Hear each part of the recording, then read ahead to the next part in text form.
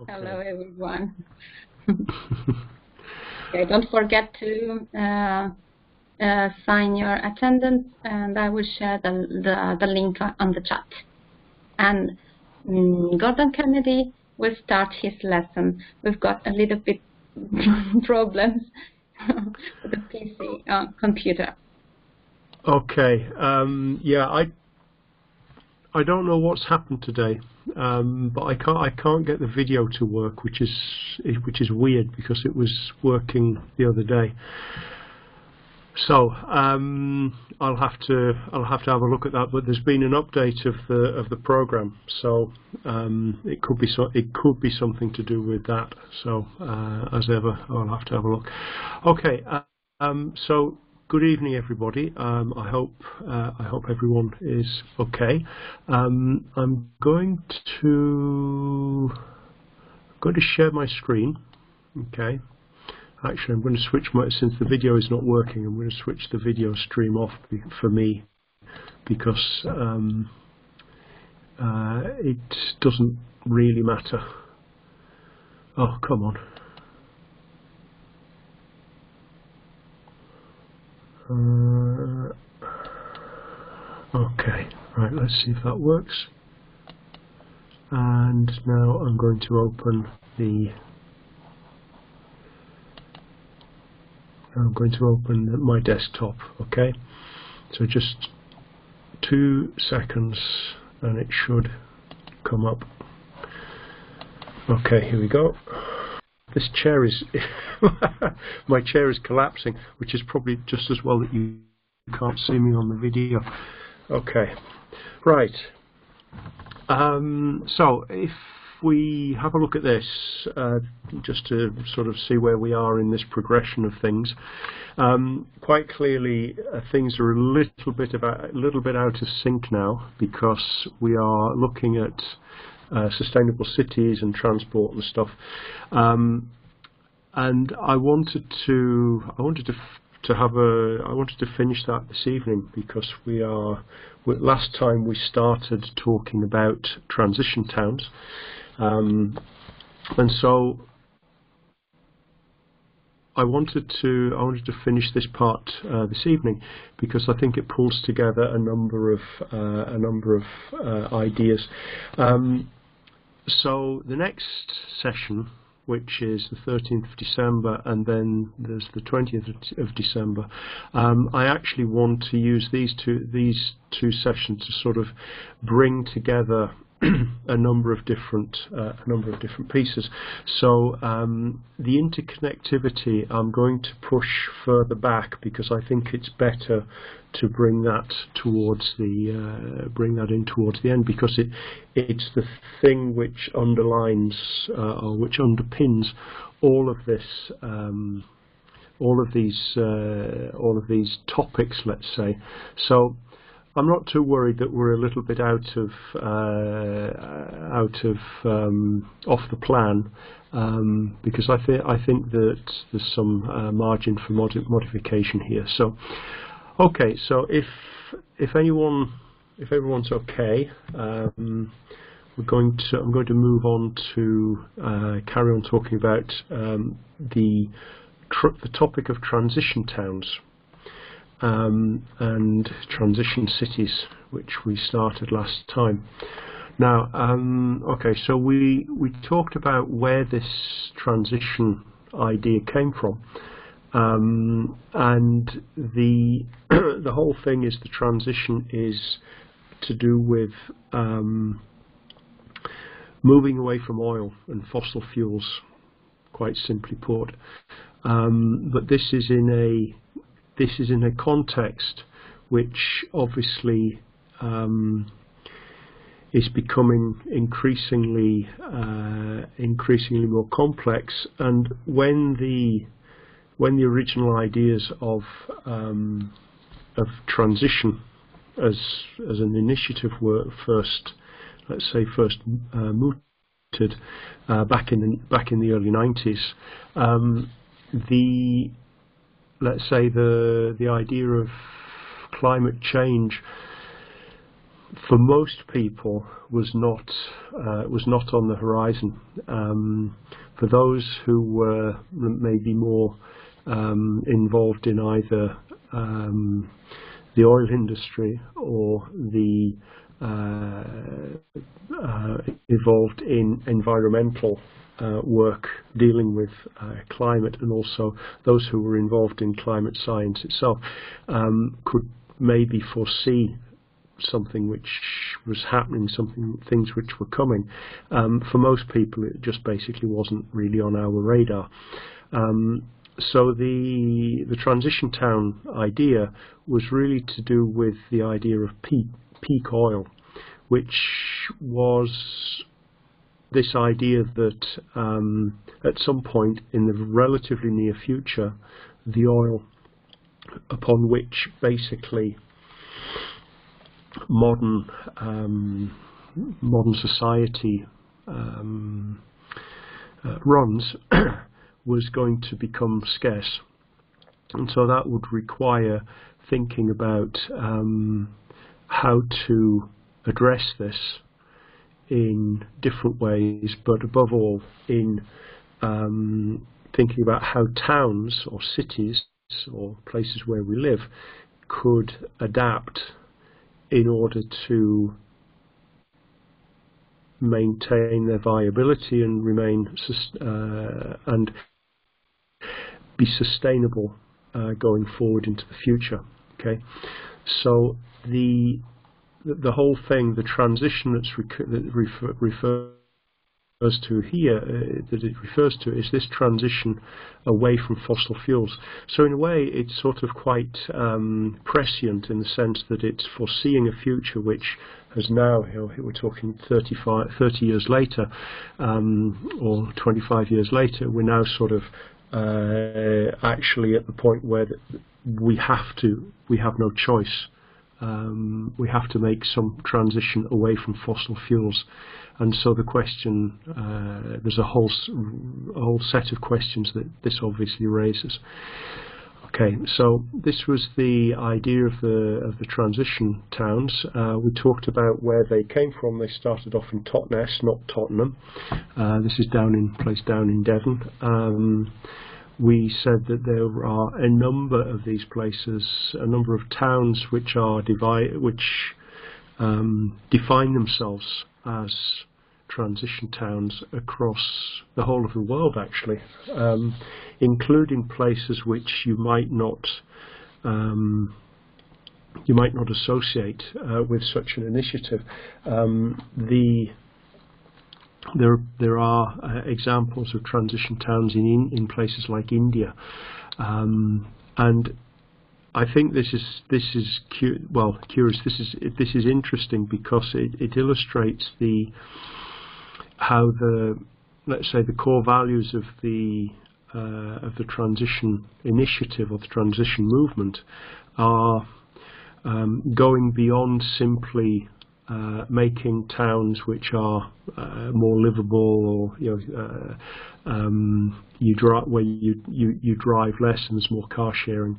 It's a lot more than just that and I think that's why um, the idea of uh, of transitioning is uh, is much broader than simply let's say saving energy and reducing oil usage so, um, and in fact, uh, it can be as valid for a town in Europe, uh, a developed town in Europe, as it could be for a local community in a rural setting in um, uh, in places like India or wherever, uh, in which the problems are, there may still be the problems of excess traffic passing through, pollution, um, and for example, one of the key things for uh, that type of context is access to reliable energy sources.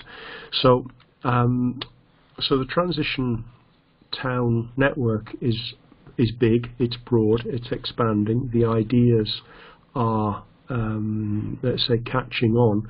Um, and so what we can say is that uh, the transition initiative is trying to get people to think about um, change, think about changes for themselves. And I think I finished last time on this, um, which was this uh, this poll. Um, it wasn't commissioned by the Guardian, but this was reported by the Guardian just last week or the week before, um, and it's the, the, poll is interesting because if you remember, um, what people are prioritizing is are actions which are already happening. Okay, but the the actions that we really need to happen are the actions which people are well saying that they don't they don't consider them so important okay? And I I made this comment here and I will come back to this at some point in a in a later in a later session when we bring when I will try to bring the, various threads together um, that people really do not understand the uh, um, the role of, of, carbon dioxide in um, in all of this because although it's true there are other greenhouse gases and we will meet them at some point, um, the one which is by far and away the most important is carbon dioxide because it's the one which is produced the most.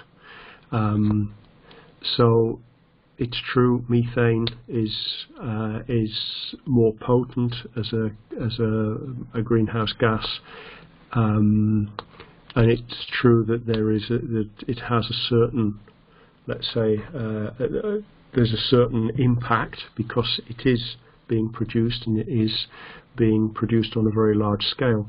However, um, most of most of the change is going to have to come from reducing uh, the CO2 in the atmosphere. If we want to have a climate which is um, amenable to uh, human civilization. Now, I didn't say um, amenable to human life because human life can uh, can actually uh, carry on in many different uh, types of climate, uh, including extreme extreme climates. So you only have to think of uh, the Tuareg living in Sahara in the Sahara or the Inuit living in the in the high Arctic.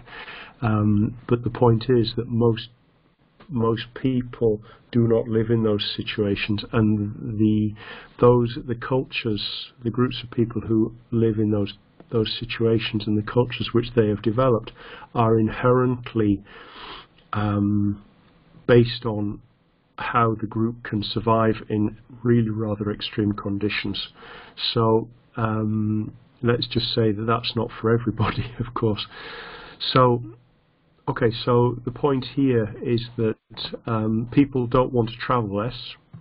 They've, particularly in Europe, um, over the last 20 years or so, 30 years or so, I think um, uh, low-cost airlines have uh, been a big promoter of, let's say, the European um, the European dream of uh, of people coming together. Um, I think, uh, but it, what this what this is what this data tells us is that people don't want to travel any less. They still want to do this. Um, people are not willing to change their food. They're not willing to favour public transport over cars. Okay, um, they're not willing to reduce the heat of the, the, the temperature in their houses and put on an extra jumper. Um, they're not willing. They're not particularly willing to uh, to ban petrol cars. Um, they're not willing to even slightly turn vegetarian. Okay, so there's a lot of um, there's a lot of basically people uh, seem to be um, unwilling to give up uh, give up these rather um, rather bad habits, which uh, which lead to a lot of uh, a lot of production of CO2, and so I suppose this is this is where where where we are at now. Um, we're going we are going to have to really look in the mirror at some point and really ask ourselves the questions. Um, okay, so um, I think one of the uh, one of the things here though is that if we're going to make changes, and I think I think we are talking about uh, quite uh, quite big um, quite big life lifestyle changes for some people. Um, the the big changes are, have are happening, or the changes that are happening on a large scale, are the um, are being driven by the let's say the the science of the thing, which is that we that the CO2 is um, CO2 is is the is the motor for for the for the warming effect, um, and with the consequence of the increased energy in the system and the consequence of the increasingly irregular um, and chaotic uh, weather patterns which that um, which that produces as the energy in the system tries to balance itself out.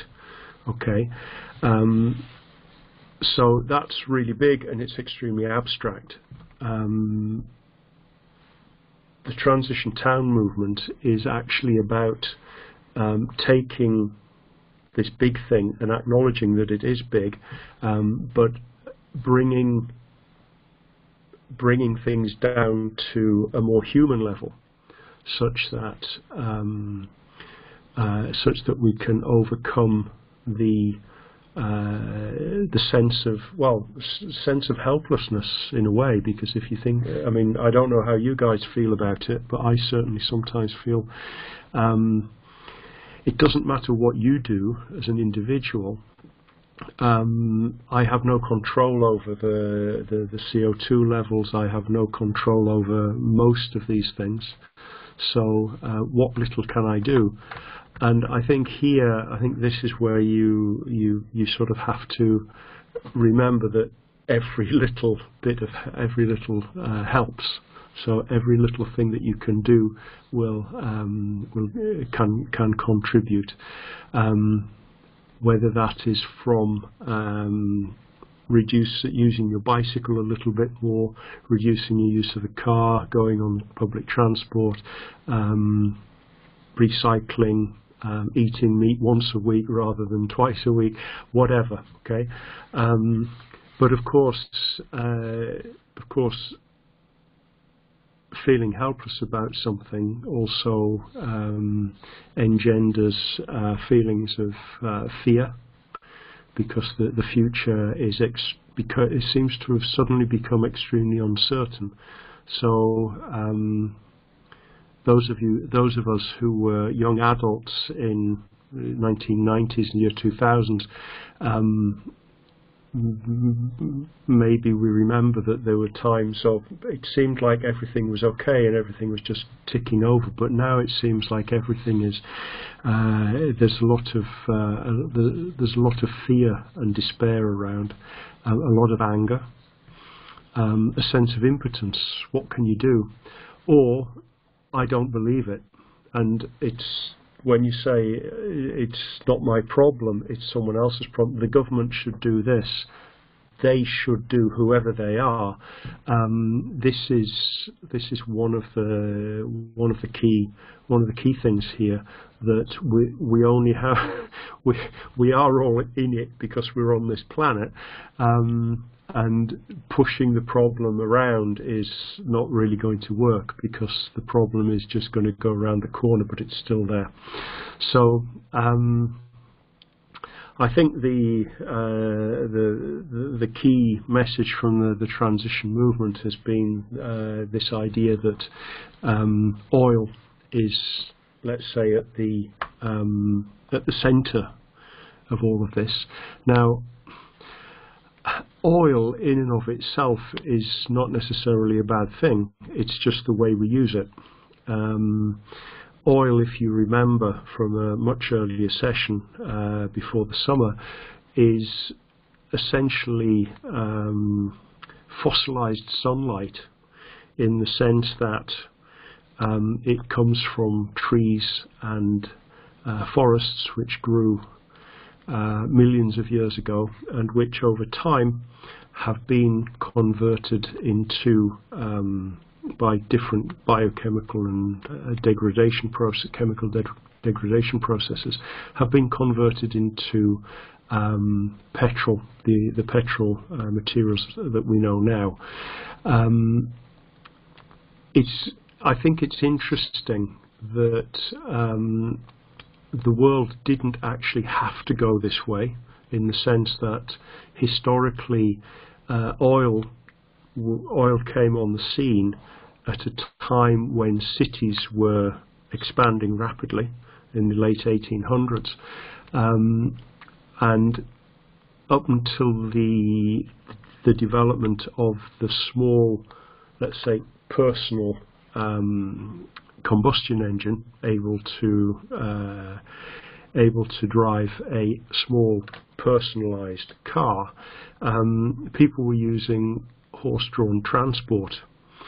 Now, um, none of us none of us have ever lived in a city which only has horse-drawn transport, and certainly not a big city.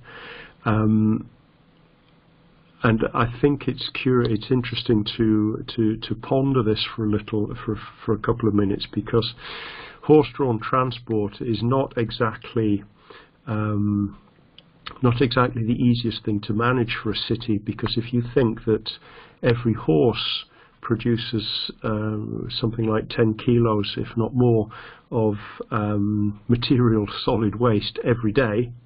Okay, uh, and in a big city, I think now the, the numbers I read were somewhere like Boston in the US had something like 100,000 horses in the city at any, in, a, in any one time. That's a, that's a lot of um, solid waste every day.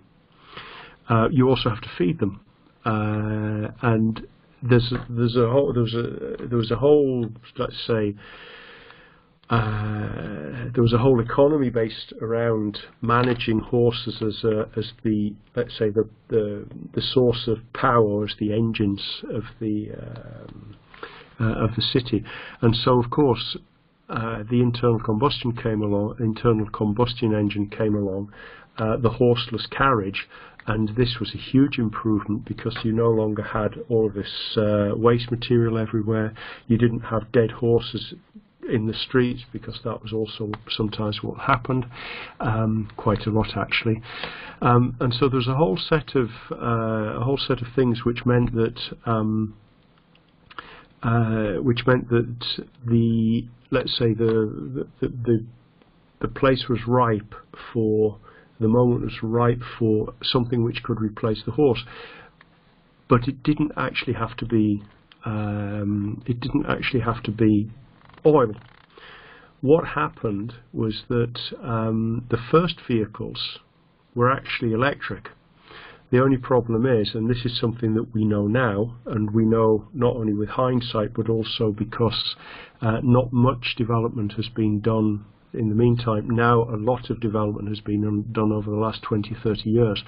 But in the meantime, between the late 1800s and early 1990s, electri electrical vehicles and electrical motors and what have you were used in very particular situations. Um, but the very first vehicles in towns were actually electric.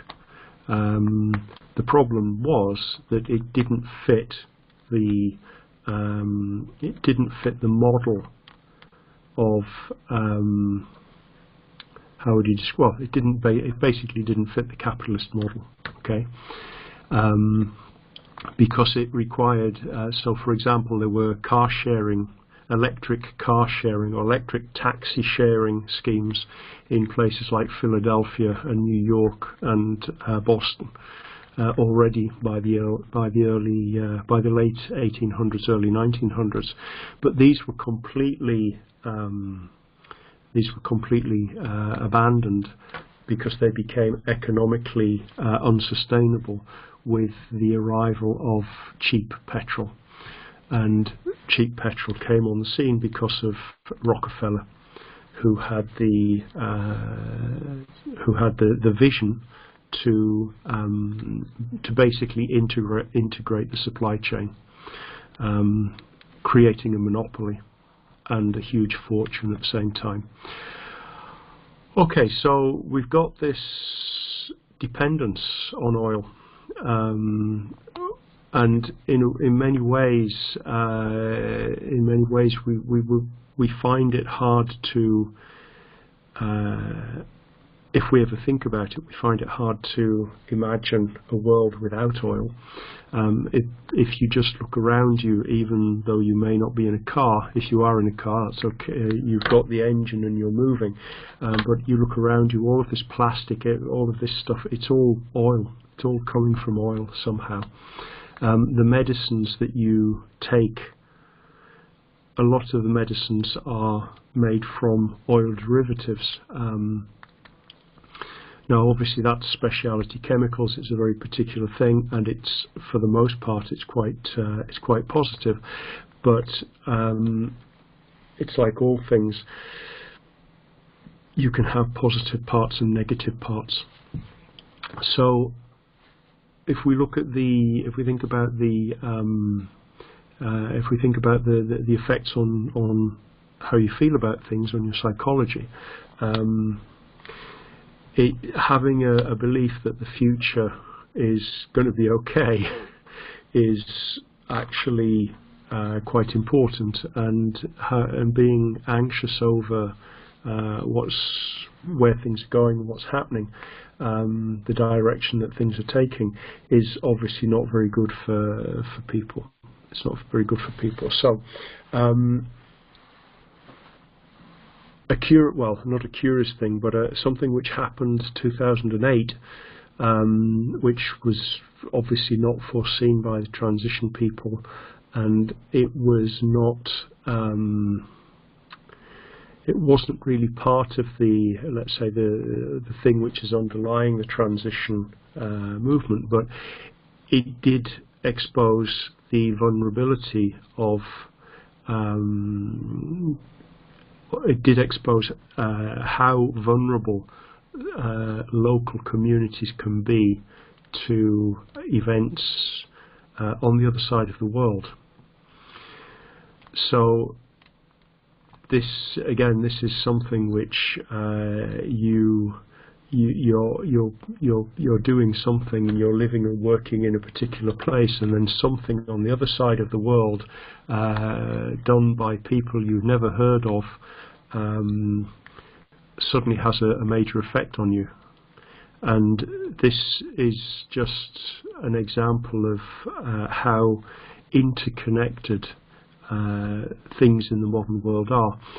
But as far as a, a, local community is concerned, or as far as a, a town is concerned, um, this is a, these are events which happen and which, uh, in some way, the um, you need to uh, you need to have resilience, and this is the word that we're using here, resilience to be able to um,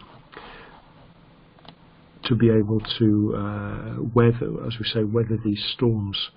So um, part of this now, I was I was thinking about what I was saying here, and um, I don't want it to sound like it's a sort of um, uh, like a some sort of uh, rant about uh, uh, the economy and what have you, because uh, it's but it's clear that underneath a lot of this there is uh, it's economic activity. Um, so if we're talking about the growth of oil, we're talking about the growth of oil because it's energy. It's it's an energy currency which is transported, which can be used in many different situations, and that allows people to do more things across the economy in order to um, create more economy because this is all uh, this is this is capitalism in a way okay so there is a there is an inexorable economic growth which is being uh, promoted although as most people will realize there are there are no things in nature which grow continuously without stopping and pausing. Things may live for a, for a thousand years. The bristlecone pines, for example, um, they live for over a thousand years, but um, they're not constantly getting bigger and bigger and bigger. Okay, and so this this this growth is always being predicated on the use of energy, and since the Industrial Revolution, with the development of the steam engine and the mechanization of of labour, um, this has sort of gone hand in hand with a um, an increase in the efficiency of the of the of the of the technology technologies which are used for getting the energy out of the uh, out of the uh, out of its different sources. And typically, of course, this uh, this is the economic um, the ec economic gains or the returns go to few, with uh, most people not uh, not getting very much at all, if anything. So um, the idea of transition, because this is actually what we're talking about, and maybe I lost myself a little bit. Um, the idea of transition is that um, it does actually challenge what economic growth actually means. Um, so one of the one of the things is to um, it doesn't say it doesn't say to, to stop doing global things, but it does say to um, make local more important again. Okay, um, and the proposal over time has been that by cutting down on use of fossil fuels or the, the fossil fuel dependence, um, this can actually be advantageous for communities and the people who uh, who live in them. Okay, now um, this is uh, this is curi- well this is interesting because I find it interesting because it's a um, it, it's something which reflects, let's say, the human side of the human side of things, which for many, many, many, many years has been completely, um, which has been completely ignored or completely, yes, uh, left, uh, left to one side, uh, simply for economic reasons.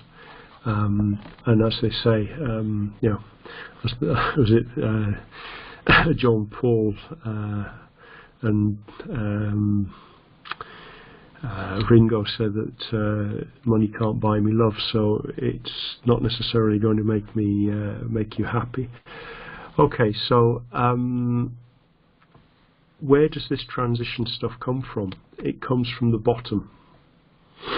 Um, and that's one of the key one of the key aspects of it because it's not from um, it's not from above it's not from the it's not from the from governments.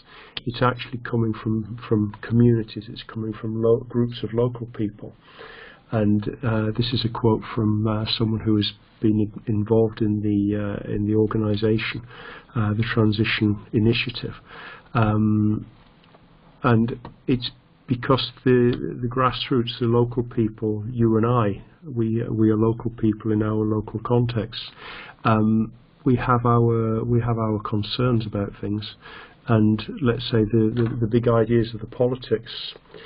Quite often, it's it, it means nothing at the local level. So, the transition initiative is based very much on um, action happening from from the bottom, from bottom upwards. Okay, and so um, working as an individual, um, you can only get so far. Um, but if you have a group of individuals who are working in a community, this can actually drive uh, it can drive change in the community. Um, and this is the uh, this is uh, this is a key thing for the transition initiatives. It's about self-organisation.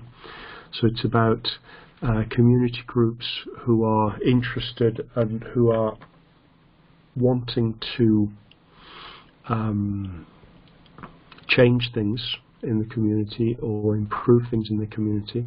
It's about it's about these groups instead of waiting for someone to perhaps provide a solution that's not actually um, that's not actually suitable because there are many examples of solutions provided by ex people external to the to a local context and the solution is is not adequate. Um,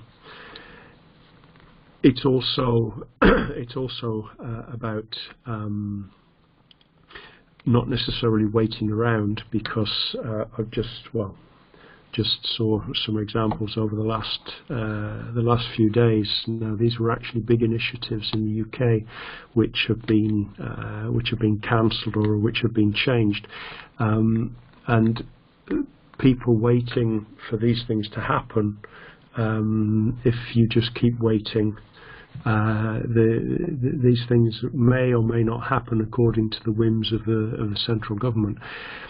So um, being able to, let's say, uh, bring about change from the bottom up in your own community is uh, is obviously much more advantageous because you um, you can you can control the change, you can take the change forward yourselves. Okay, so um, I quite like this one, buy local or buy buy local, because it's true, and I think everyone has the there is the tension of uh, of Amazon. okay, um, now uh, I don't think you should necessarily feel guilty uh, for for using the service, but at the same time. Um, if you can, if there's a way of supporting the local economy, uh, that may be uh, may be may be better. Um, so, what are the transition? What are the the three R's of the transition? One is resilience. Um, one is um, relocalization. So, um, this this may seem like a bit of a strange word, but it's um, it's very much about um, trying to build feedback circles, feedback loops within the local um, within within the local context, um, and it's also there's also an element of, of promoting um, development which regenerates, uh, which is regenerating uh, aspects of the local uh, of the local economy or of the local situation. It's not just economics. This it's also the local situation. So, if we look at uh, if we look at resilience, first of all, um, an ability to recover from or adjust easily to a misfortune or a change. So, in this context, uh, the ability of a system, which is an individual, an economy, a town, or a city, to withstand a shock from the outside.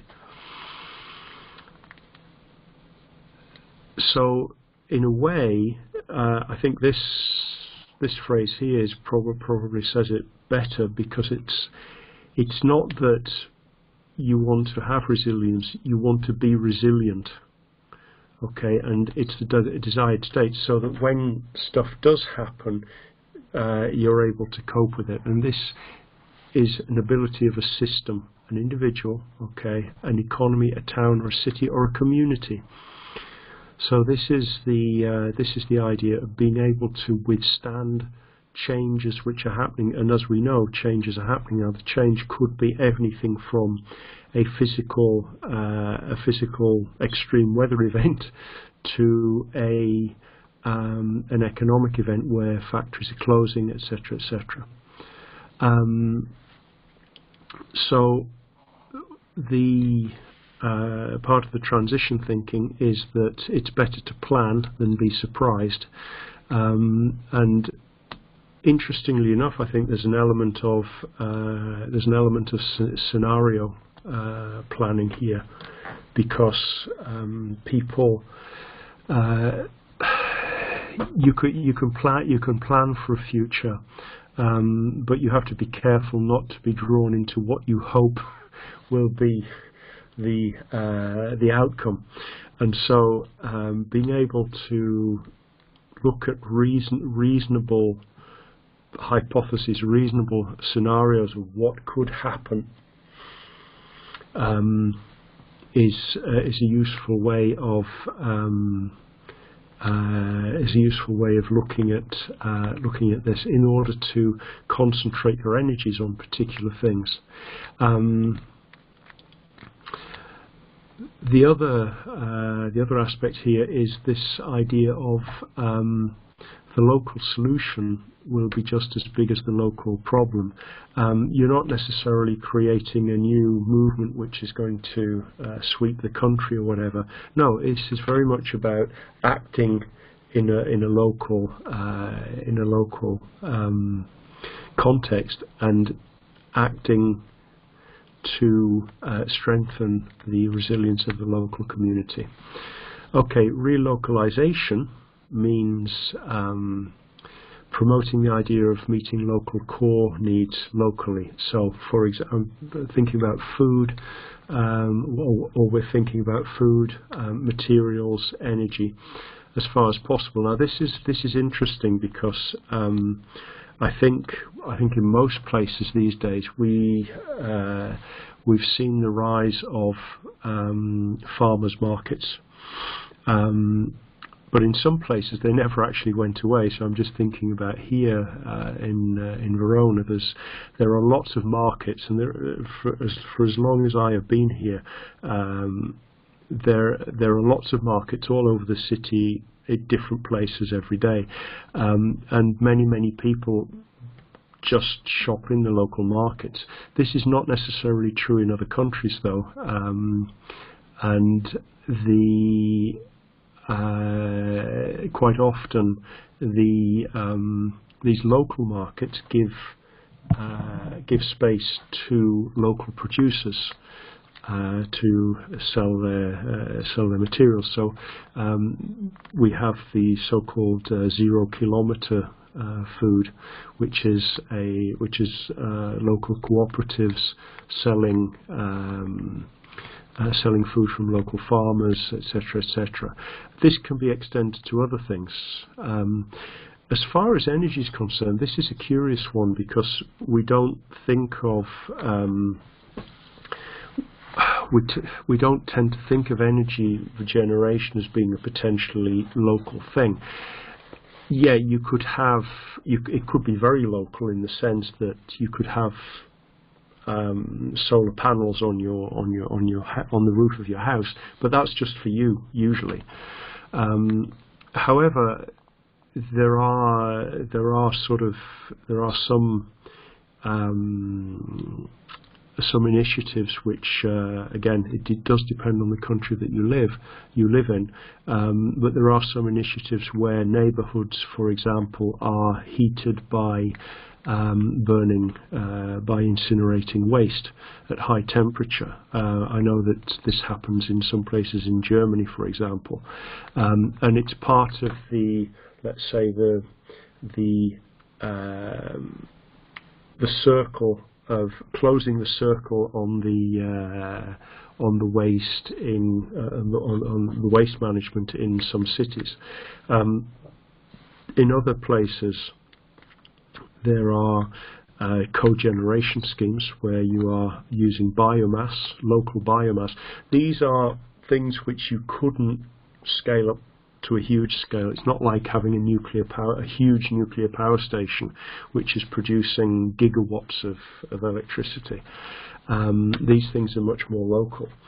Um, but even even then, just the other day, I read something about um, uh, small nuclear power stations like the size of a the size of a container truck, which sounds pretty uh, science fictiony, um, but apparently these are being being developed as we speak, and they they are there will be some testing soon, and these things are capable of again heating a providing energy for a neighbourhood in a uh, in a town. Whether they are desirable to have around, that's a different uh, that's a different matter. Okay, so um, what's the whole thing here? The whole thing is, and it's not being insular. It's not closing. It's not. We're not going back to the days of the communes in the medi- in the Middle Ages. No, it's just it's just this idea of um, let's say um, rather than looking for something across the other side of the world, maybe you have it just around the corner. Um, okay, so the idea of the regenerative uh, development.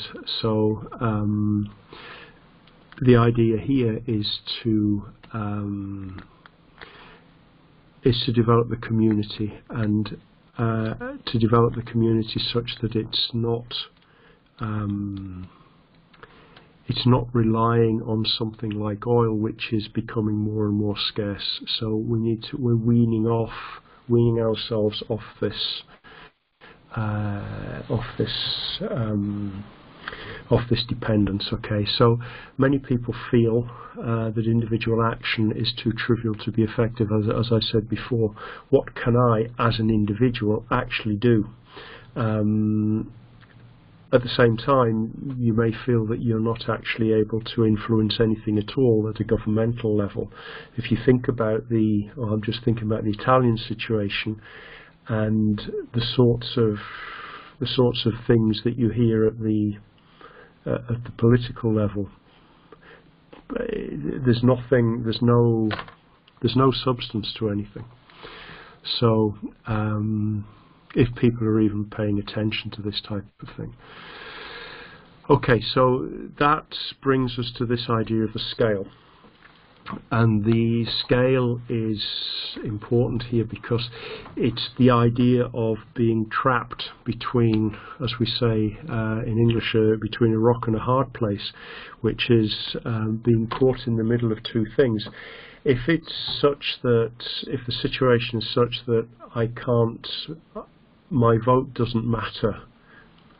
Okay, I feel that the political, uh, let's say, the political mechanisms are such that my vote doesn't matter, um, or I feel that as an individual, an individual, I can't do anything.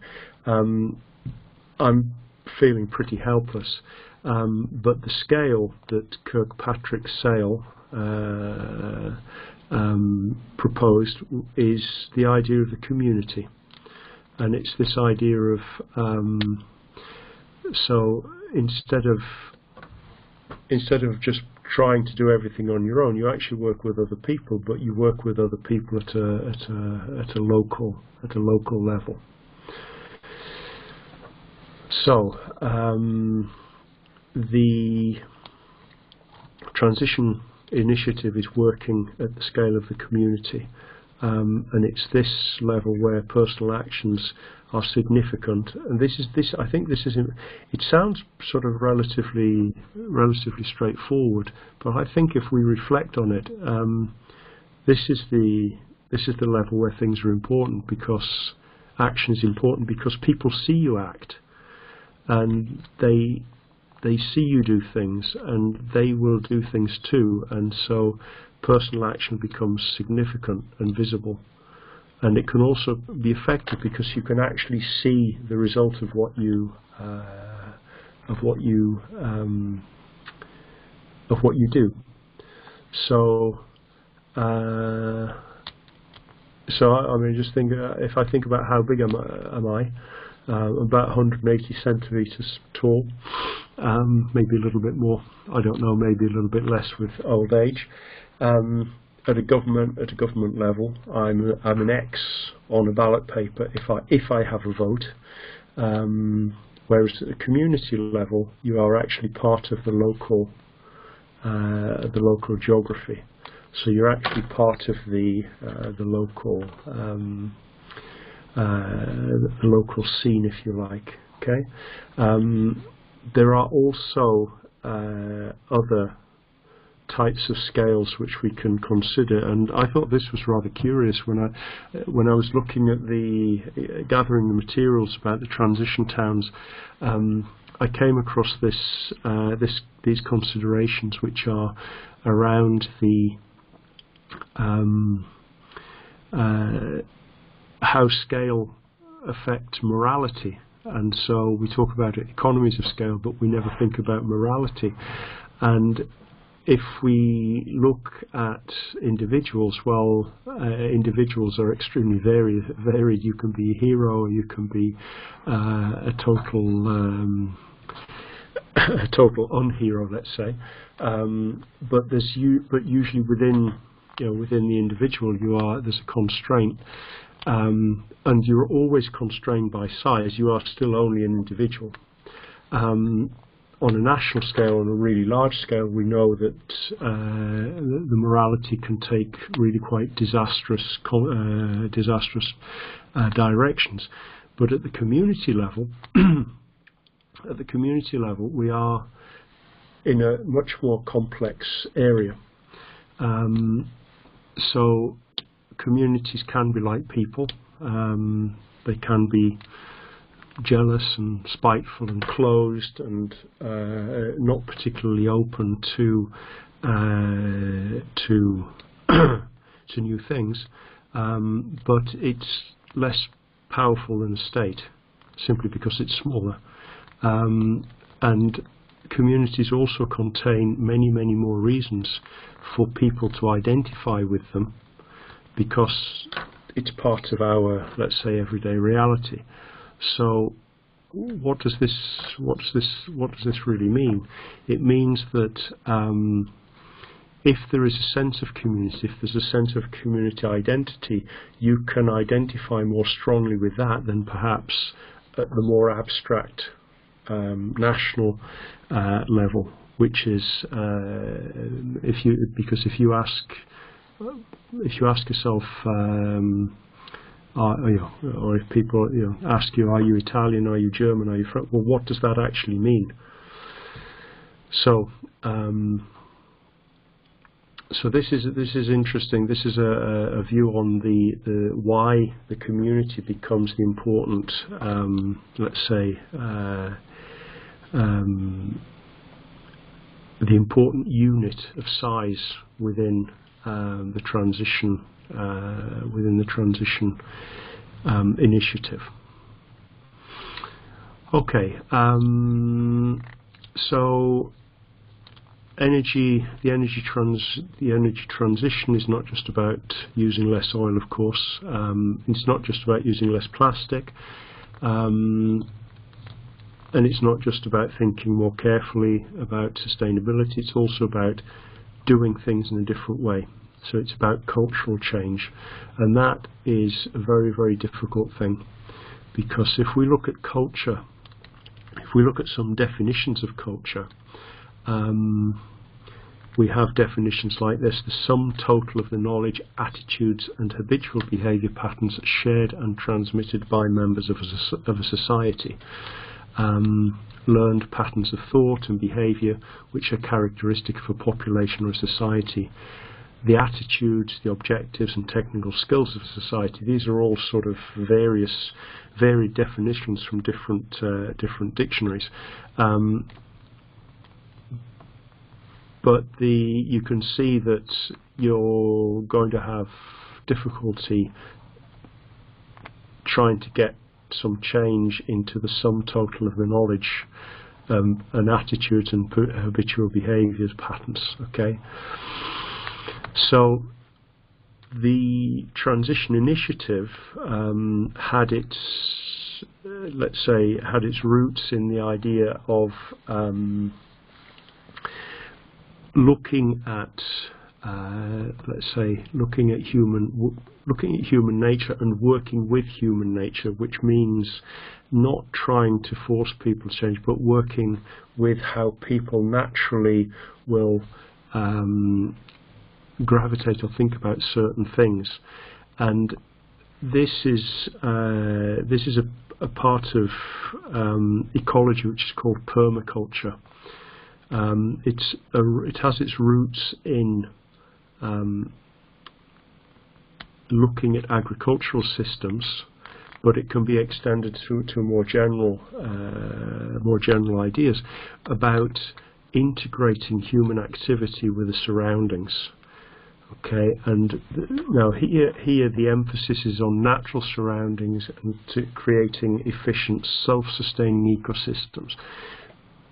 If you look at this at a more in, from a more social point of view, it's to do with um, creating self-sustaining uh, and resilient communities uh, by integrating different activities with working with the surroundings. Okay, so I'm being a little bit more general here, but the point is that the, the transition initiative will work with people rather than against people. Um, you're not forced because you can't force people. Uh, you can't force people to change. Um, so the perma permanent agriculture or permaculture, as it became known, was to do with um, uh, came came to the fore in the 1970s uh, during the first oil crisis. So this is way way back. Some of us actually remember this probably. I do. Um, I remember the the uh, the power cuts and um, and what have you. So. Um, so from a let's say a, practical point of view on the um, uh, on the of actual activities, this is very very much linked, uh, very much part of um, let's say agricultural thinking. So this was this was where this was born, um, but the principles can actually be um, can actually be applied in a more general sense in a transition initiative within a community. So um, you're observing, you're not just uh, imposing, you're observing and then interacting. Um, you are channel capturing and channeling energy uh, now, in the in this case, this is literally this is physically uh, physically storing energy in some way, uh, so that you can um, get it get at it later. You can use it for different things. Um, in a transition initiative, this is uh, to do with how energy is used in the uh, in the local communities. Um, you are, in this case, this was crops, you're, you were generating and harvesting the crops.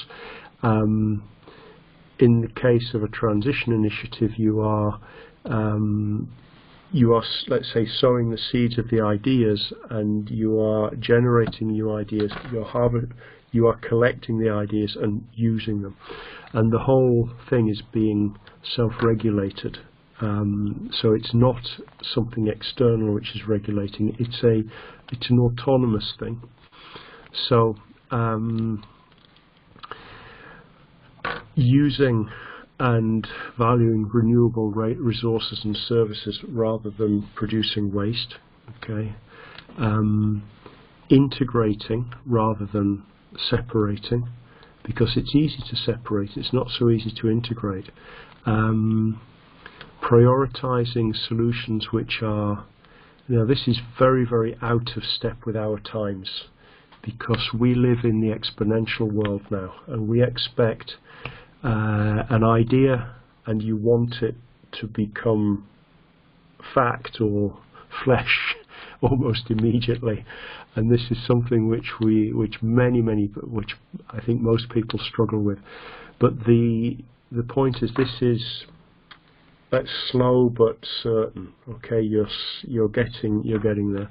Um, diversity. Now there is a uh, there is an interesting point here because um, diversity for some people is a um, a source of anxiety, when in fact, from from a systemic point of view, it's a it's a potential source of richness because it uh, it gives the system more um, uh, more not opportunities but uh, more tools to be able to respond to a situation okay? Now this one is very curious because it says paying attention to border zones. Now you might think what the hell does that mean uh, and actually, you might be thinking, what the hell does all of this mean? okay, we are talking about transition initiative. We're talking about towns. We're talking about uh, communities. Um, the idea of when you have um, in this case, think of, a, of agriculture where you have fields. Okay, the borders of the fields, uh, which become maybe they border woodland or where they, or where they border another type of field, um, quite often in the past were um, marked by uh, different types of either walls or fences or hedgerows. Okay, so plants and stuff which were planted along the border. Okay, um, and this is true in agriculture as it is also true in many, many technical endeavours, and that is that the most interesting stuff happens at the edges of the um, at the edges of the of the of, of the either the subjects or uh, at the edges of a of an area, and this is because the conditions that you have at the edge of something, at the border, are very very different to the conditions that you have in the centre.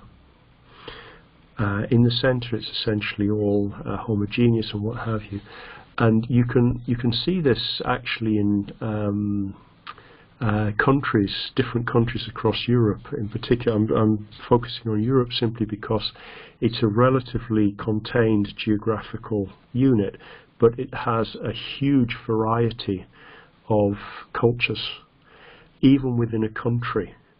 And what you find at the border borders between one country and the next, you will find quite often you will find shared dialects um, shared cultural habits, even though there's a, a let's say, a, um, a, political border running through uh, the uh, the area. And these, this is simply because uh, these these places which are at, at, the edge of a of an area um, are in contact with different things. They're in contact with the external uh, the external uh, world. And the other aspect of this permaculture was to be able to respond uh, creatively to um, to changes which were happening. So, just two seconds, just two seconds. Excuse me. School this on online.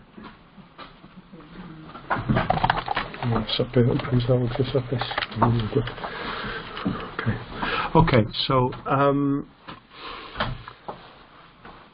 Okay, so while the permaculture, permaculture is uh, concentrating on this systemic approach to land management, um, the transition initiative is promoting a systemic, collaborative, cooperative um, approach to uh, to people and between people. And so, let's say the uh, the, the it's not surprising that uh, the transition initiative has its roots in this type of thinking.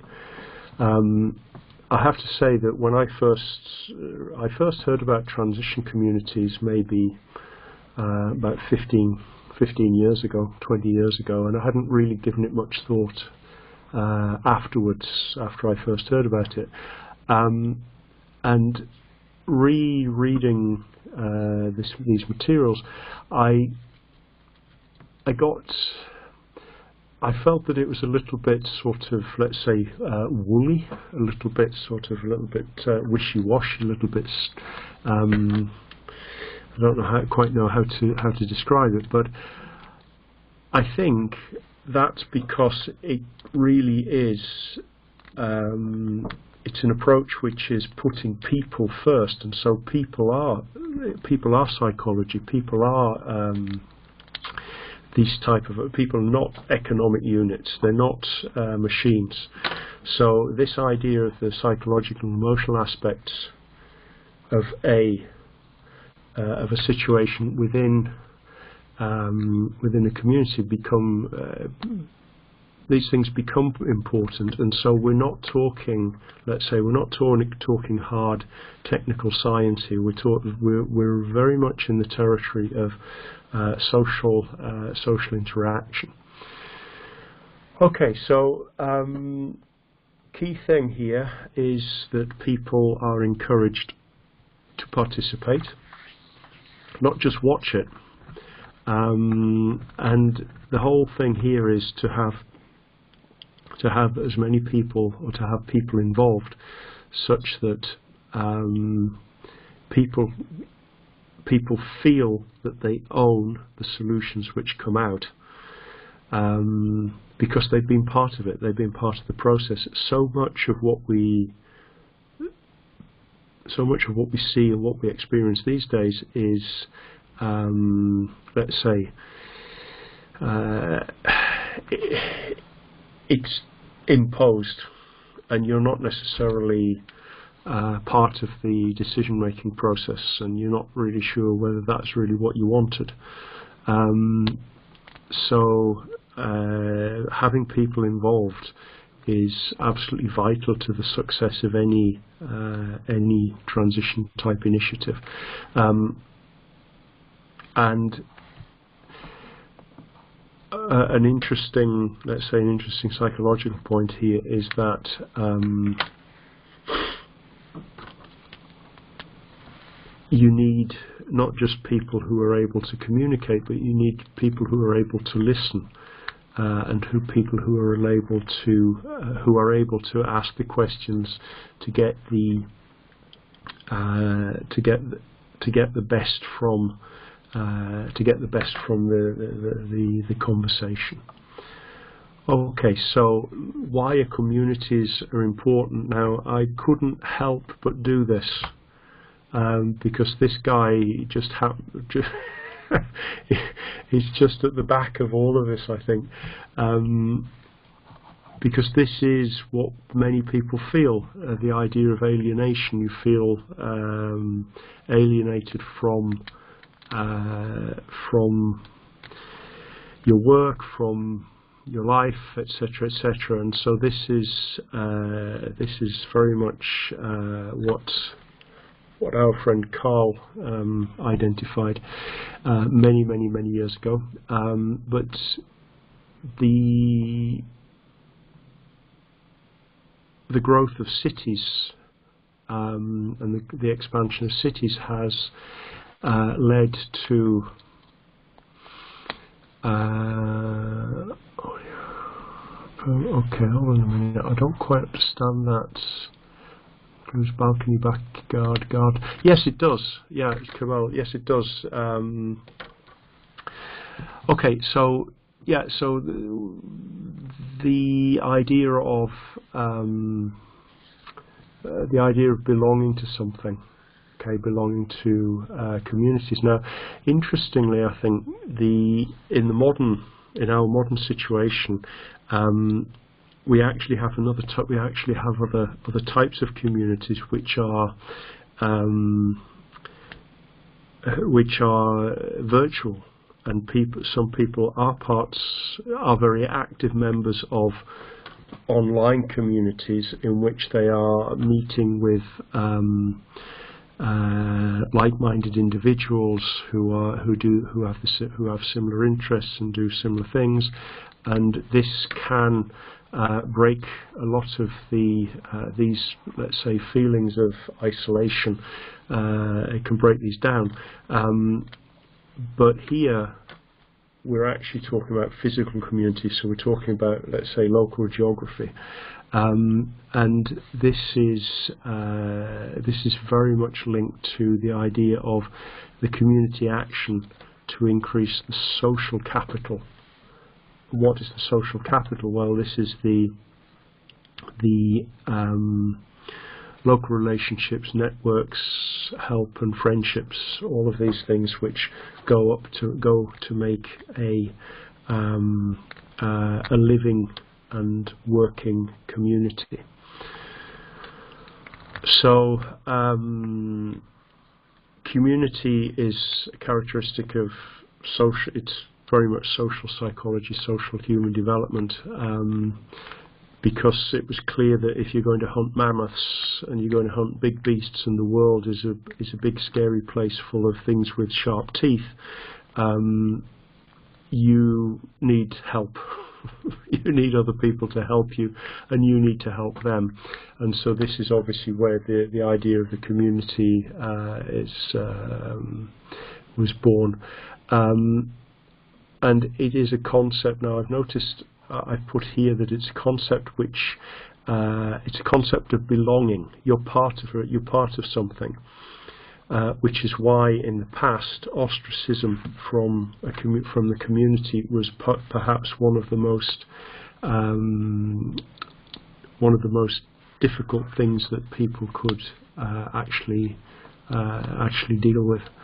Um, it cuts across any of these higher abstract concepts, concept of state or nationality, and it's it could be completely separate from separated from physical geography. It doesn't necessarily have to be a um, as I said with the online communities, for example, um, it's a sense of belonging. It's a sense of fellowship, and this is William Morris, the uh, the guy from uh, the, guy who did the wallpaper, uh, amongst other things, um, and he he used the word fellowship, um, and it's being with other people. Um, and here this takes us back to uh, this takes us back to the um, let's say the uh, the more prim primordial situation with our hunter gatherers. So yeah, um, so yeah, people need need communities. Although maybe in modern life with our televisions and stuff, we don't feel quite so uh, quite so benevolent towards our neighbours sometimes.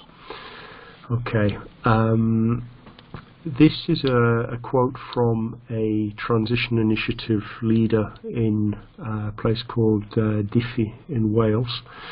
Um, so one of the awful, awful things about modern culture is separation and isolation. We've broken down almost every social bond, so the only one, the only bond or the one bond left is between parent and child. Uh, we've lost something and we don't know what it is. We try to fill it with food and alcohol and shopping, but it's never filled. What we've lost is our connection to our community, our place and nature. Yeah, uh, it's it's a bit sort of um, uh, yeah, it's a bit it's a bit it's a bit tough, I think.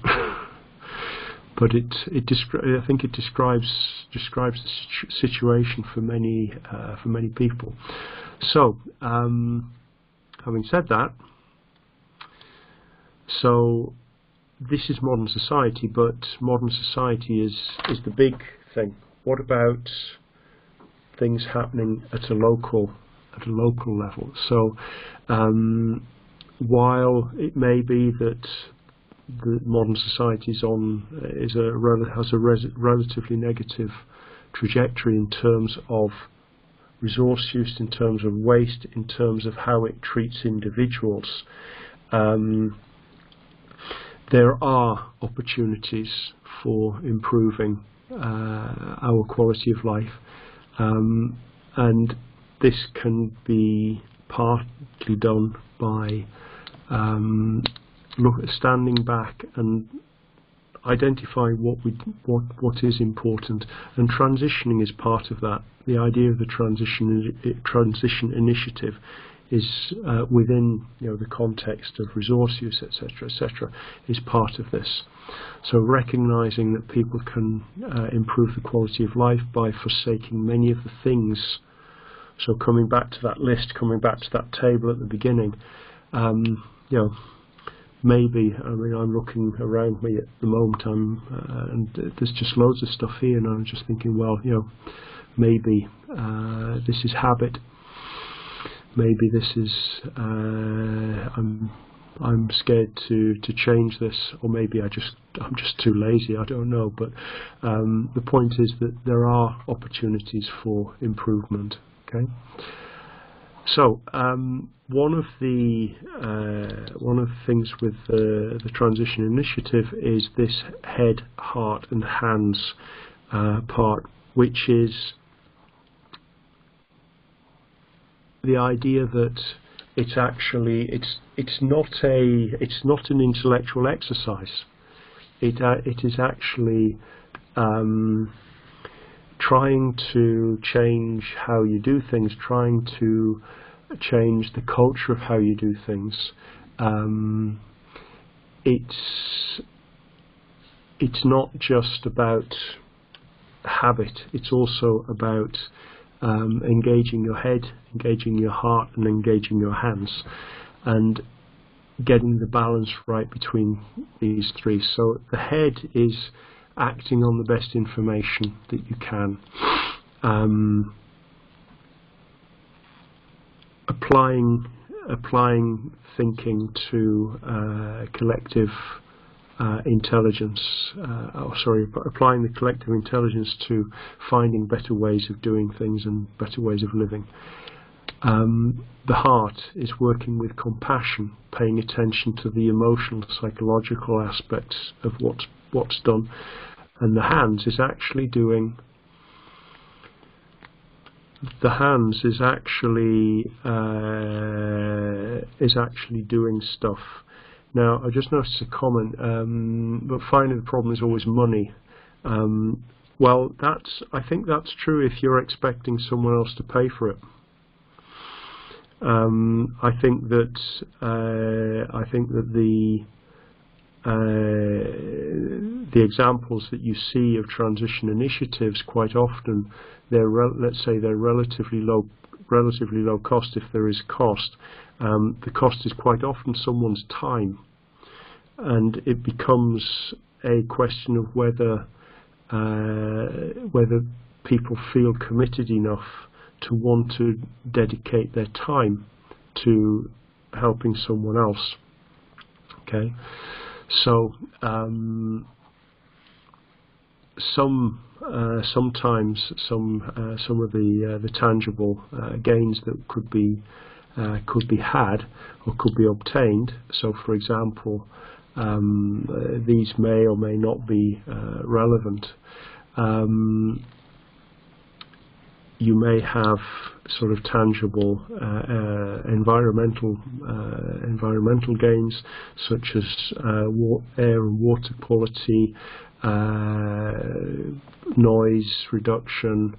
Um, again, it does depend on what the initiative could, what the initiative is. If the if the local community is looking at uh, trying to uh, trying to reduce traffic in a in a in a neighbourhood.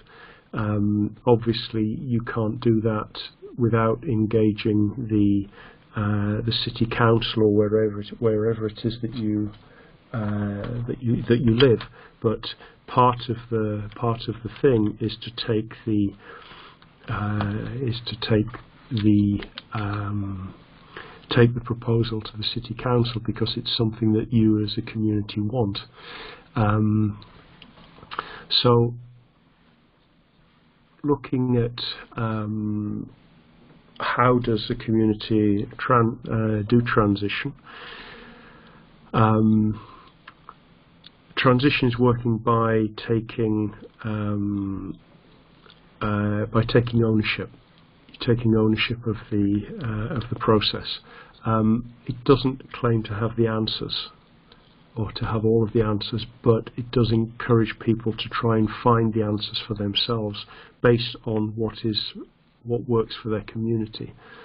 Um, the idea or the model which is proposed is a model of uh, project support. So the the transition, it's the, let's say the transition initiative itself is helping to catalyze, um, but the projects themselves are, um, are, are put forward and managed by the people who are interested in seeing the result, let's say.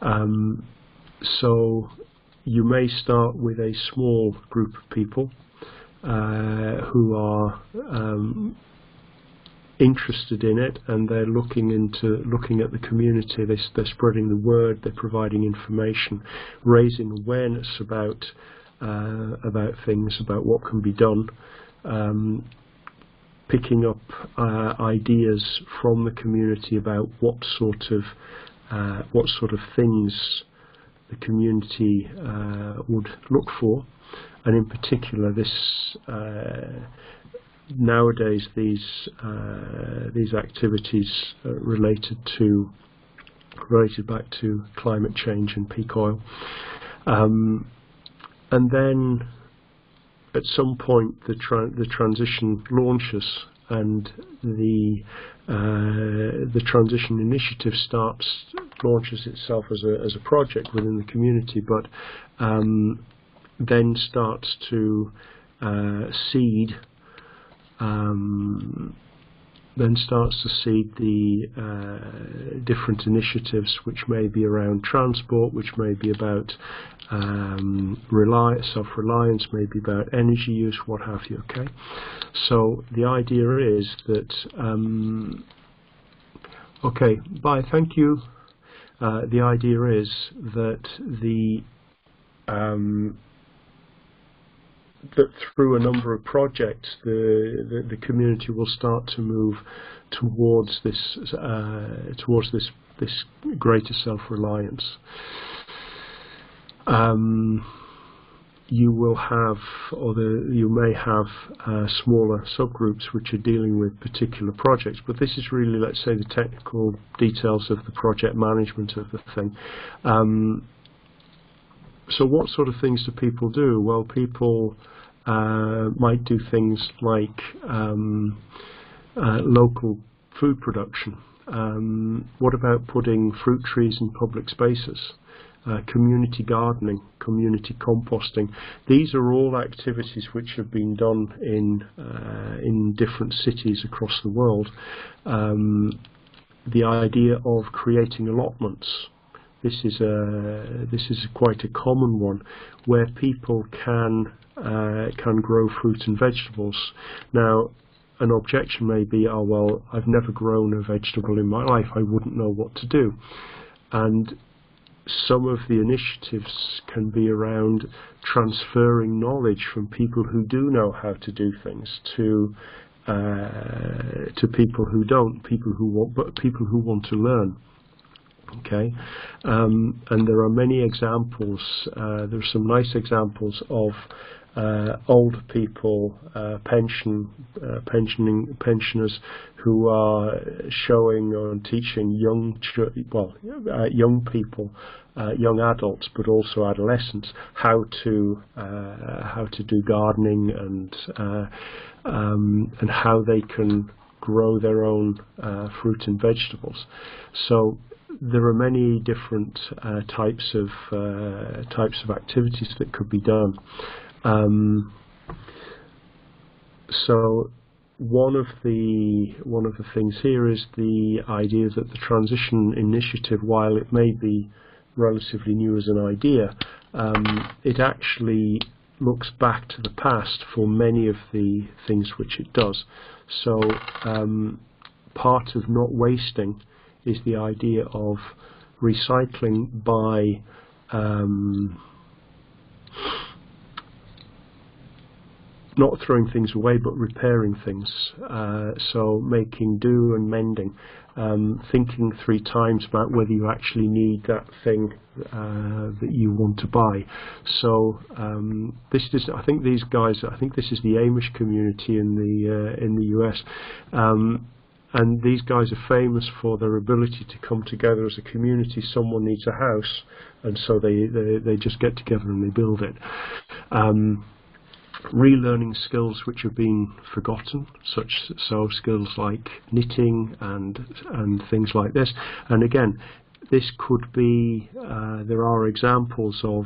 There are many examples of. Um, uh, people within the community providing workshops to other people in the community to um, help them rediscover or re uh, um, help help them to learn uh, skills which once upon a time this was knitting for example was absolutely normal.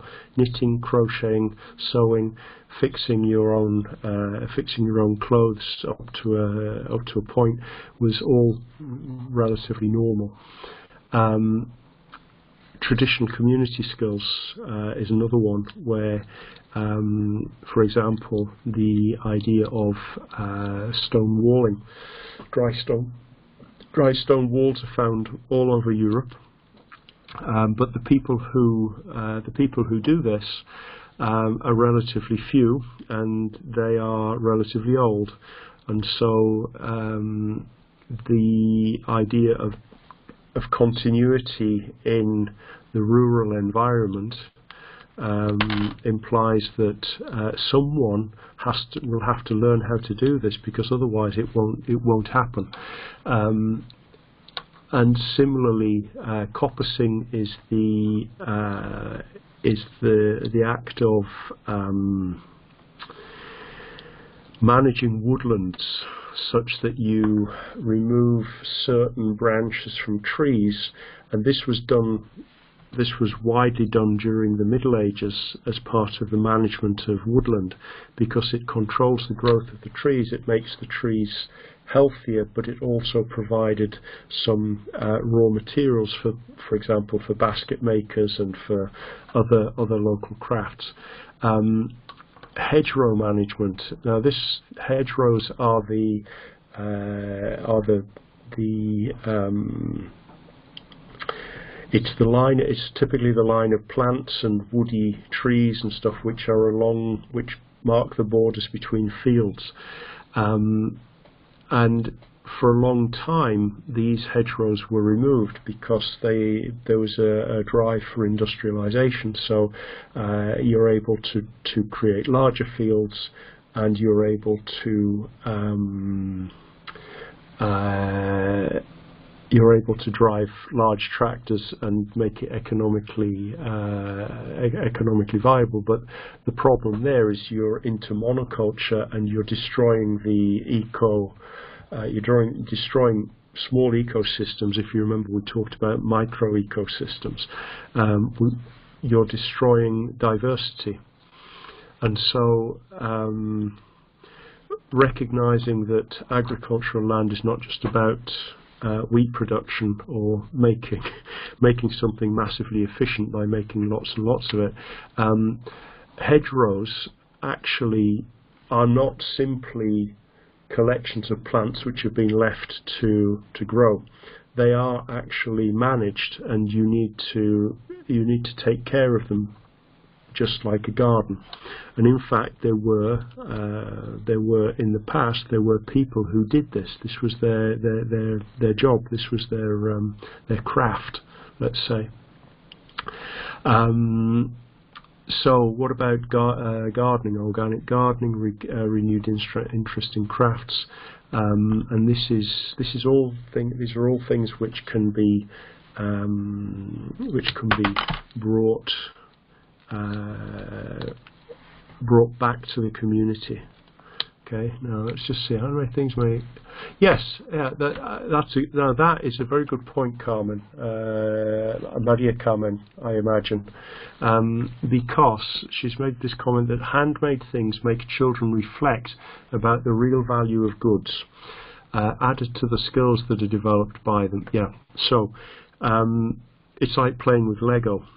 Yeah, you you have motor skill, but beyond beyond just the cognitive aspect, it's the value of the thing itself. So rather than playing with your phone, you make something.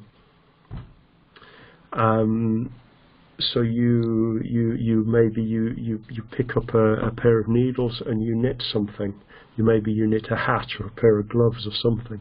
Okay, but it's the it's not just the object that you make; it's also the process that you go through and this is um, for some people. Uh, for some people, this can be a uh, almost meditation.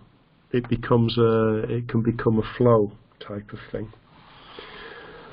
So yeah, so lots of ideas about um, sort of bringing back, uh, bringing back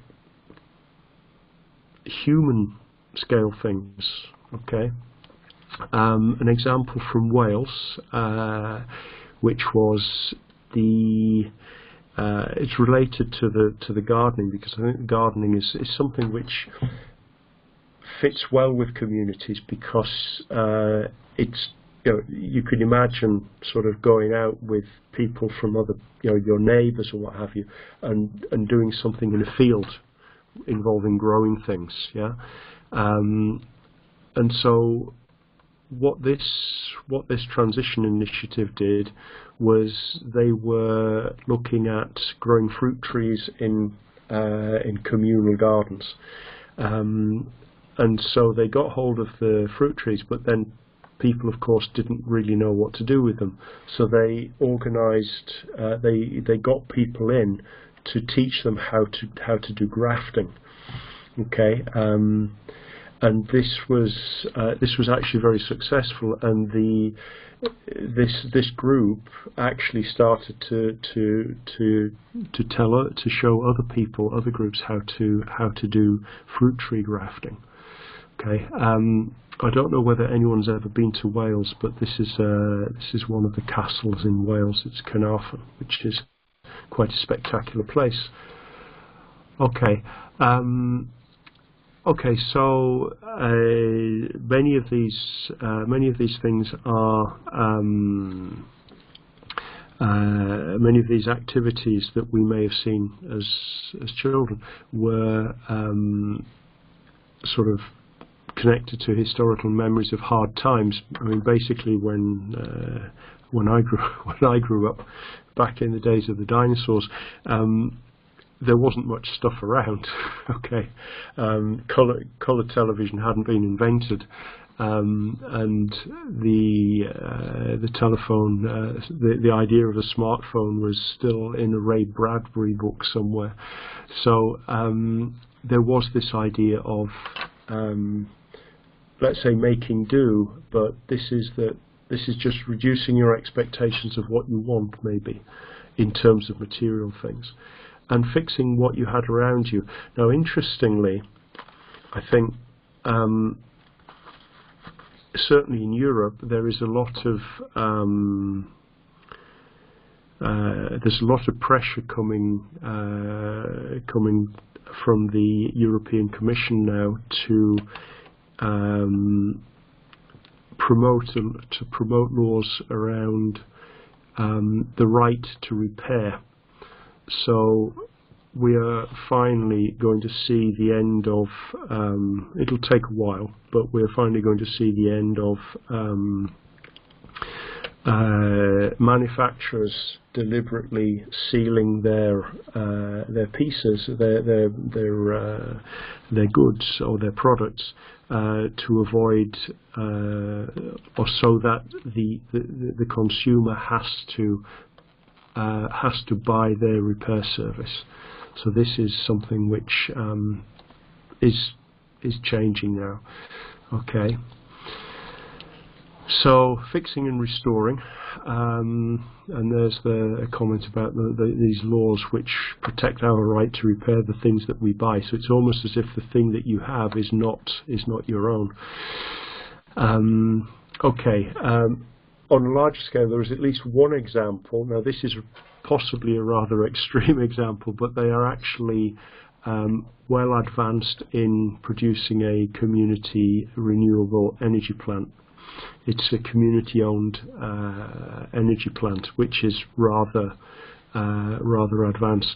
Another has um, has has is is well on the way to um, working as a cooperative to bulk buy solar panels and then selling them and then to sell them uh, without uh, no profit.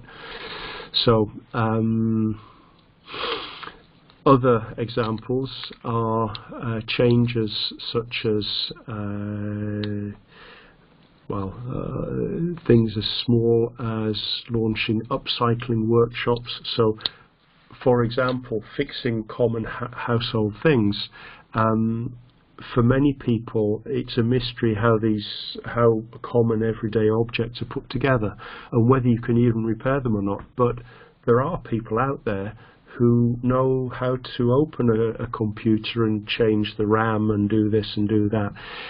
So um, people have been organising uh, workshops so that where they, where they can exchange these uh, exchange this information. Um, and there is at least one example, and I don't think I don't think many people know this at all. There is at least one example of a local currency, which I found rather curious. Um, this is the Brixton pound. okay, it's a picture of David David Bowie. Okay, um, and it's it's actually it actually exists. It actually exists in a part of London. Um, and the idea the idea is that um, you can you spend the one Brixton pound is the same as a, a, normal pound, but you use these within the local area, and uh, shopkeepers will give you uh, discounts and all sorts of stuff. So it's it's to do with um, keeping the flow of of money uh, local.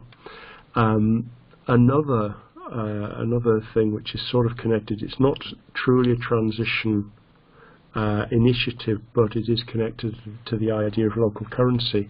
Is the um, the M-Pesa initiative in Kenya, um, which basically completely short-circuited the bank, uh, the banks in the sense that uh, farmers were able to transfer money between themselves uh, and microfinance borrowers were able to receive money and repay loans using direct mobile phone payments without the bank. Um, I think uh, some things like this have now started to appear here. Um, okay, so the idea with this transition stuff is that we can't just wait um, the local problem, if we wait, the local problem is someone else's problem, but why would someone else act? Because they don't live locally. So this is where um, this is where the, uh, the this idea of, uh, of of action becomes very important, and it's important that it's uh, that the action's happening, that we that we take it, that we take this action uh, now. Okay, so I'm just going to just going to conclude this. It's, it has been a bit rambling today. I think I'm not so not so happy about this this particular section, but um, the idea is that the the transitions, the transition initiatives, um, are very much to do with the community. Uh, each community is different. Each community has its own particular um, uh, particular uh, problems, and it will have its own particular solutions. Um, there is no answer. There is no simple answer. Um, so it's about creating answers which which work for for the local context. It's constantly evolving. Um, and I would suggest if you're interested in it, go and check it out on the on the web. If you put in tran if you Google transition initiative, you will find lots of information about it. Um, it's an approach which is rooted in very, let's say, uh, very human things, which are the, the, values and the principles of people and the community. Um, it's about uh, respecting resources, um, creating resilience, promoting um, involvement of people. Um, it's about balancing the needs of different uh, of different actors within the system, um, and it's very much about learning. So I think that's uh, that's a key thing here. It's about learning, and it's uh, also about fostering a positive uh, a positive vision uh, with creativity because it's too easy with these big things. It's too easy to get very, very um, get very negative, get very uh, get very negative about them. So it's important to uh, to to be to be able to be positive about changes. Okay, now there's lots and lots of lots and lots of references there. I will at some point actually let me see if I can just do that now. I don't know whether I can do this. Uh, da, da, da, no, block. I don't want to do that. Okay, I'll have to. Um, I'll send these around the. I'll send these around the group. Okay, so that's that's transitions, transition towns. Um, maybe a bit rambling, maybe not quite what I uh, what I wanted to do, but um, if anybody has any questions or comments about this, because the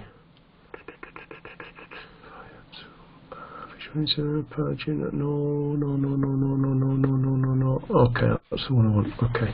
Um, okay, so so anybody got any comments about transition initiatives?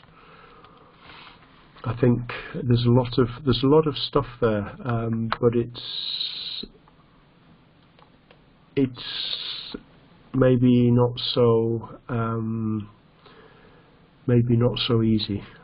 Okay, so what I'm going to do today, uh, what I'm going to do now is I'm going to look at something about urban development. Um, so for the last 15 minutes here, I think um, this is maybe a little bit more. Uh, it seems difficult.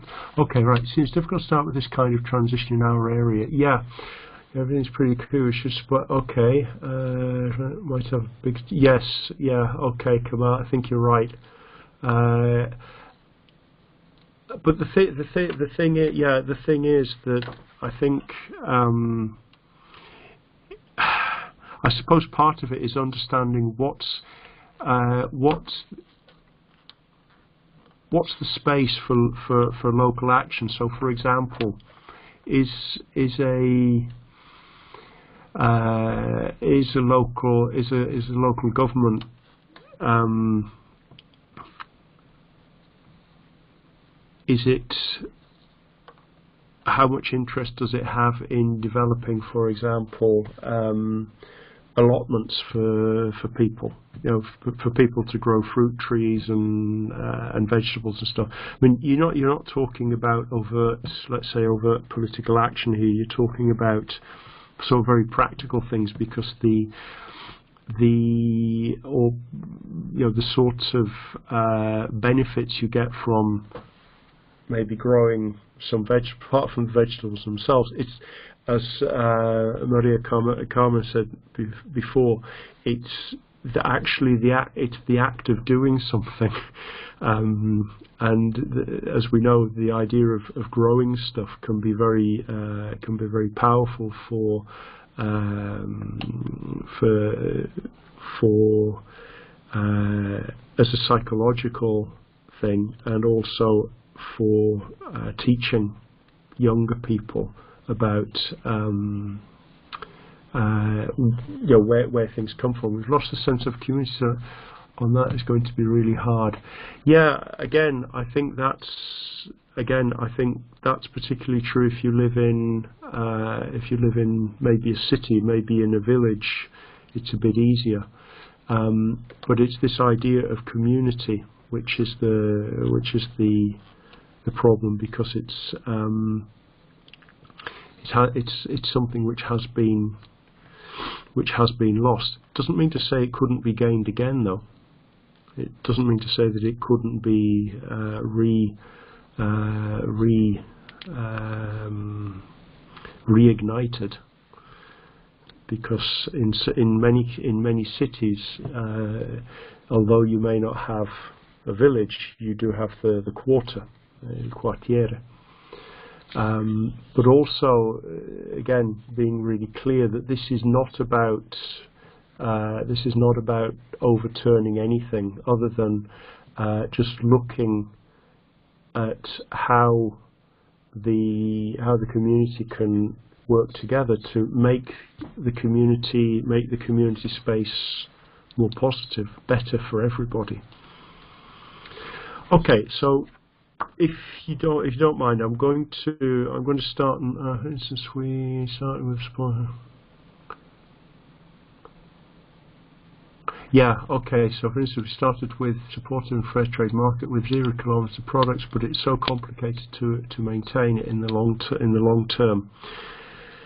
Yeah, I mean that's uh, maybe that's a big, know, maybe that's a big. Um, uh, maybe that's a big a big thing to start with because it involves it involves um, involves finance, it involves uh, monitoring um, uh, money and a whole pile of stuff. So it, it it could be that could be potentially difficult to start off with. Um, the question would be did you get any did you get any help from people who'd already done this? Um, could you learn from someone else's someone else's experience?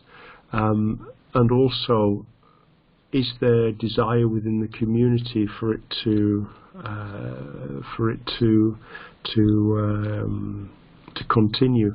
And again we also have to remember I think that not everybody is going to be interested in everything. So uh, some things will, by their nature, have uh, have limits. Okay, so um, with that said, just going to take some take a few minutes to just look at some stuff about um, uh, urban stuff. Now, for some reason, I don't know why, there's actually there's actually quite a lot of references to places in Spain in this uh, in this collection of slides, uh, which we will see in a minute.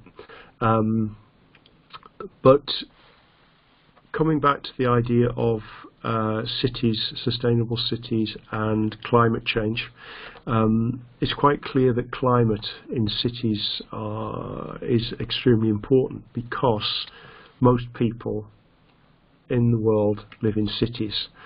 Um, and this is not going to change. If anything, it's going to get, it's going to uh, accelerate. Um, um, now, the statistic here is that urban areas occupy less than 3% of the land area on the planet. Um, but as you can see from the picture, this looks like no natural landscape whatsoever. Um, and there are different ways of uh, there are different scales of looking at this. Um, and to be honest with you, I find all of this stuff really quite fascinating. How people how people learn how to think about uh, about this. What we see is we see skyscrapers. I think this is this could be New York. I'm not sure. We see skyscrapers. We see lights. We see the city lights. We see the roads. We see busy people. We don't see we don't really necessarily think about this as an environment. Um, it's so highly modified. It's so highly different to uh, to anything in nature. So we have different scales. So we can think of um, street scale, which is obviously it is what it is. It's the the detail we can think of the city scale, which is the, the, the, scale of maybe a, an area or a, a whole city itself, um, and a regional scale. And this this becomes important for the uh, the, the huge conurbations. So I'm thinking um, places like Tokyo, uh, Seoul, um, mega cities, uh, large cities, uh, Mexico City, uh, Paris, London, um, New York, these Los Angeles, these places which are so huge. Dallas, which is one of the, it doesn't have, have a, a, tremendous number of people, but it's one of the largest cities in the world in terms of area. Um, there's one place I read last week, uh, a city in China, which I can't remember how many millions of people it has, um, but the urban environment around the city was is as big as Austria, the country, which I, I just can't I can't get my head around that. Anyway, okay, so um, not surprisingly, cities create their own climates um, because they are just so highly modified. Now, this is Vancouver. Um, and Vancouver originally didn't look like this at all, of course, because there weren't all of these high-rise high-rise buildings. And the fact that we put there are high-rise buildings all over the place, this completely changes uh, a number of um, a number of factors to do with how the city exchanges energy with its environment. So if we think, if we remember that uh, climate is to do with how an area, a geographical area, is exchanging uh, energy with uh, with the rest of the the Earth system, um, it's quite clear that this has a this will have a very particular uh, a very particular way of um, exchanging this energy. So uh, thinking about these uh, these areas, and I think any major city you can imagine uh, has this has this type of uh, this type of thing. So as it grows, it's using more space, it's using more resources. The wind here. Why do you say? Why do you use the? Uh, ah, uh, okay, right because they are different. Because each each city has its own climate, therefore many cities have many climates. Okay, so um, that's why it's a plural. Okay, so uh, you can imagine, for example, the way these buildings relate to the where, to how the sun moves in the sky, the wind. No, I would never even you would never maybe even, even thought of the wind currents. This is a bay. If you've ever been to Vancouver, it's uh, on Vancouver Bay, which is uh, really quite a phenomenal uh, a phenomenal location um, in terms of natural location. You have high mountains behind, and then you have these uh, this bay with lots and lots of inlets, and uh, it's very protected, and it's very um, let's say it's a very calm environment. Um, but the city itself has uh, these these skyscrapers, these buildings have completely altered the air currents. Um, they also alter how the sunlight reaches uh, reaches the ground because of course you can imagine that if you're down here you're going to be in um, uh, you're going to be in in shadow a lot of the time. And all of this influences the processes of energy exchange okay? Um, and so you can have all sorts of microclimates within an urban environment. And I thought I found this rather interesting because we tend to think, oh yeah, this, the city will be warmer, but it does depend on where you are, and it does depend on what type of city you're in. So, um, looking at these two, uh, this is Piazza del Popolo in Rome, and this is Las Ramblas in Barcelona. Um, and you can see that this type of broad open space is going to have a very different energy exchange compared to uh, compared to this. I think this must be autumn time, but this leafy uh, tree-lined uh, tree-lined street, which when the trees are completely out, uh, completely open, um, is very much in the shade. Um, this is at least how I remember it. So, okay, I'm looking at the time now, and I think uh, I think I'm going to stop there because I think it's uh, this is a good place to to, to stop. So. Um, we're going to next time we'll finish looking at uh, urban environments and we'll pick up on let's just see we will pick up we will pick up on the idea of interconnectivity. Okay, anybody anybody got any questions? Anybody got any questions or comments? I'll just leave it on this one.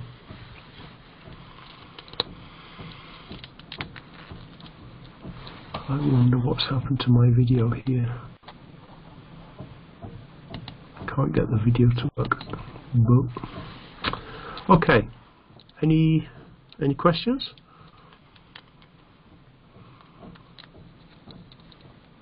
Nope.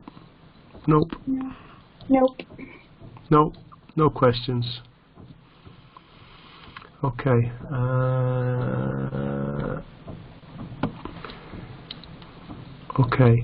Yeah, I apologise for the. I got a little bit lost with the tra- with the transition stuff, but please do do follow it up. I'll send I'll send uh, I'll send the links to uh, Agnes and she can forward them to forward, forward them to you. Um, it, it is well worth looking at. Um, and I think you know there's there's lots of food for thought there. Okay, so thank you everybody. Thank you for your um, measurable patience.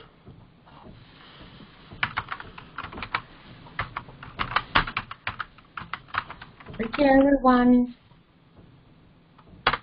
I stopped the recording now. Okay, right. Okay, thank you, Agnese. Thank Grazie. you. Ok, ci